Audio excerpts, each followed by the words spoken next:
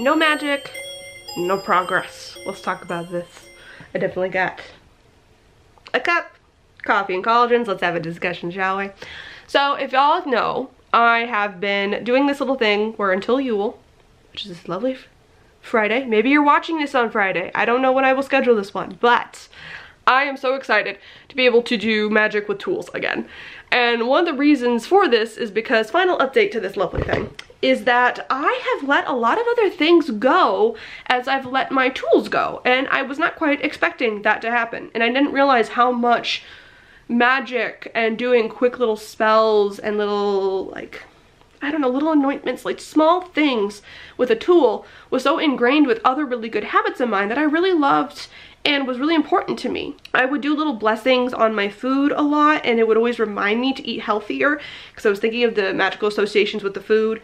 So I would eat a lot more spinach, asparagus and stuff, whereas like in the holidays right now, like I'm just eating all of the carbs. Like it's not, like carbs are good for you, but you shouldn't be having so much deep fried goodness every single day. Mm.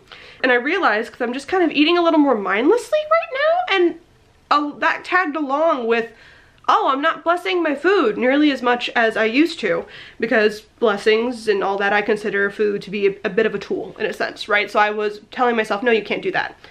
Another thing that I haven't been doing nearly as much is waking up all that early because so much of that early time for me was spent at my altar doing spell work or outside doing spell work or you know a lot of just I still get up semi early or I'll do it more I do it more late in the evenings now where I'll set up my altar and like have a moment with my deities. But I've almost I've gotten really really bad about like being getting up early and like I'm always waking up late. I always feel in a rush right now.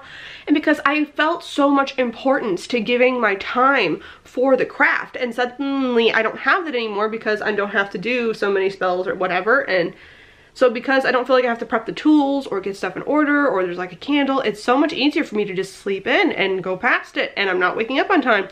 And along with the not waking up on time means I'm not making my coffee in the morning so I have to drink crap work coffee. Like I did not realize how much the motivation for me to get up so early was because I loved dedicating my time to my practice during that time. And so because I haven't been doing that, that's the, the, the waking up early is totally gone out the window. I've also not gone outside nearly as much, which is weird because I've been pushing myself to feel into nature more. I'm taking way more notice of the moon cycles, what stage the moon is in. I go outside at least every night to check on it, but like my long walks that I used to do a lot of have kind of gone away. I, I just don't think about them because I'm like, oh, I don't have to do because again, I would associate it with a bit of magic, with me tuning into the nature, with me feeling into the water of that little pond lake thing that I walk by. There's like a lot of things like that that I just don't do as much anymore. It's just very, very weird. I didn't realize how much I really had integrated magic and a magical mindset and certain traditions of this nature all in with my habits and all the good things that I really enjoyed and liked about what I was doing. Taking away the ability to do magic with tools, I did not realize too how much that, it just, I had interwoven it to so many pieces of my life. So part of me immediately wants to break it. Yule, I'm filming this on a Sunday. Yule is on a Friday. Like I get to do all the things after Yule on Yule. I'm so excited. It kind of really makes me appreciate magic and stuff too more, the fact that I'm realizing this. Because I always knew, like ever since I started going into witchcraft and doing all this stuff, my life has drastically improved. My mindset is so much better. I am taking way more action in my life as a whole and I really, really appreciate magic and witchcraft and all of that because of that my life has tripled so much improved over stuff and it really made me realize that yeah it is. It's a great motivator for me. It makes me wake up on time. It makes me consider the healthy foods i'm eating. It makes me get up and move and appreciate nature more. And it makes me focus on being in a healthy body and a mindset. And there's so much of that when I take away the tool part. It has really affected me. And in some respects, I'm like, okay, well that's interesting. So if you don't have tools, then you're going to let go of all your good habits. That's not good, something to work on. But I do, it's kind of a reaffirmer of how much magic really has improved my life. And I didn't even quite realize it, that it, it that integration really helped me push and do all the amazing good things I really wanted to do. Part of My long walks were great because I could find little pieces of nature and then bring them into my altar. Part of waking up early was because I wanted to have that time at my altar to draw cards, to honor my deities, to do a quick spell in the morning, you know, any of that stuff. It was so easy to do with a tool. And because it was th that whole interaction excited me, so I did the thing. I don't know, it just makes me feel so grateful for it because it's a very interesting experiment. I probably won't do a huge amount of minimalism, like I've said before, my craft again because I just greatly, greatly enjoy it. It makes me so grateful because I can see now when you, when I take just the tools out, I've taken so much of the magic out.